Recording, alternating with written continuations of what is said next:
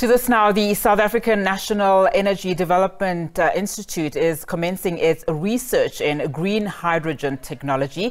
The research in partnership with Durban University of Technology will investigate the feasibility of uh, generating green hydrogen from borehole water using a polymer electrolyte membrane PEM uh, that's the technology. The collaborative uh, research project is expected to support policy decision making as the country moves to reduce its greenhouse gas emissions in line with our international commitments, while also energizing local economies. Now, to take this discussion further, we're now joined via video link by Professor Sampson Mamphweli, head of the Department of Science and Innovation's Energy Secretariat. Thank you so much, Prof, for your time. Let's now get a sense of, firstly, what prompted this kind of research research in green hydrogen uh, technology?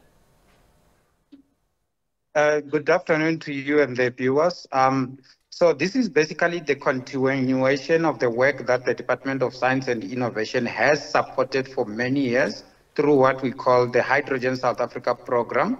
Uh, the department then developed what we call the Hydrogen Society Roadmap uh, that, that uh, basically established a, a hydrogen corridor that starts in Limpopo, uh, coming to Gauteng and then going to KwaZulu-Natal. So we've looked at, at, that corridor and established that uh, in the KwaZulu-Natal area, we don't have institutions of higher learning that are involved in this kind of research. That's when we brought in the Durban University of Technology so that we can kickstart the establishment of a, a center of competence in that particular university dealing with green hydrogen production. We also looked at the, the, the fact that there was no institution looking at uh, borehole water uh, uh, uh, purification for production of green hydrogen. We have some research that we've started in Limpopo with the University of Venda and as well as uh, the one of the HySA or Hydrogen South Africa Center of Competence at uh, Northwest mm. University. But in the KwaZulu-Natal area, we didn't have much yeah. of hydrogen research taking place. That's why we came together with uh, DUT to conduct that research. All right, uh, uh, perhaps let's get into the meat of it then. What does the actual study then entail? And more importantly, how does it feed uh, and align to South Africa's energy generation? So the study uh, involves the, the pumping of uh, borehole water um, and then purification of that particular water.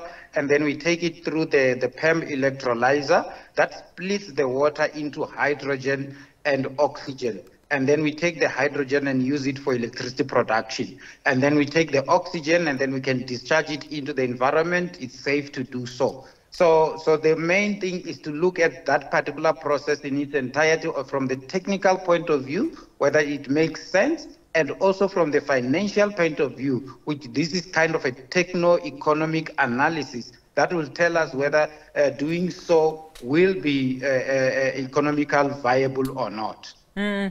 You know, not too long ago, and I want to get a sense of what your thoughts are. The Minister uh, of Electricity and Energy, uh, Dr. Ramokgopa, announced, you know, that two hydrogen projects will be added to the Risk Mitigation Independent Power Producer Procurement Program.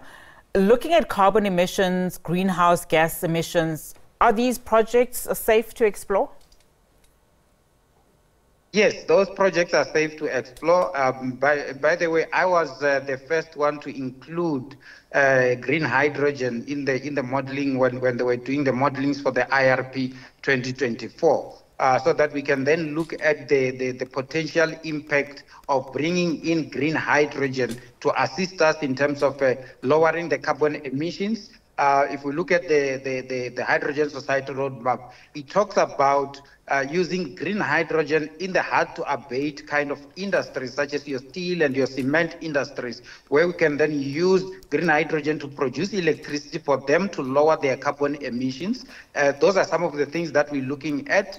Uh, why we're concentrating on borehole water, we, we're looking at inland areas because on the coastal areas, we have a lot of water that will come from the ocean where we will do desalination of that water and then produce green hydrogen. But on the in on the in, inland uh, uh, uh, provinces, we don't have that kind of a luxury, and we don't want to use potable water coming from the municipality as well.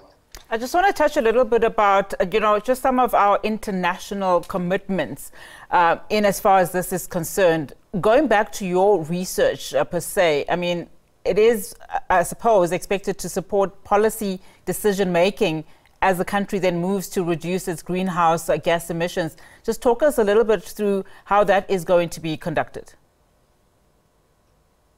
So uh, from the technical point of view, we will run um, uh, models, uh, technical models that will that will show us the, the impact on the on the emission side of things.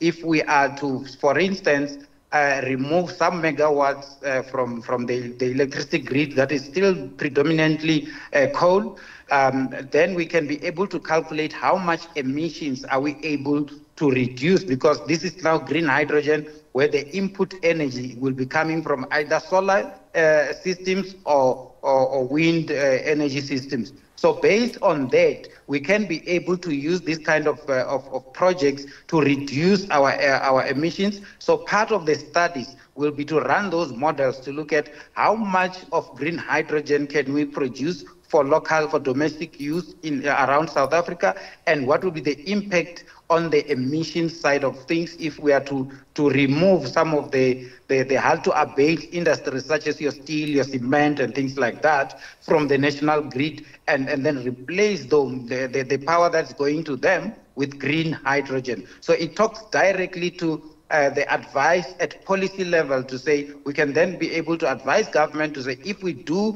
uh, if we bring in green hydrogen, these are some of the emissions uh, that we'll be able to avoid uh, going forward. So that's the whole essence around uh, policy advice and, and also advising national government, which is based on, on, on the evidence uh, from the research that we'll be conducting.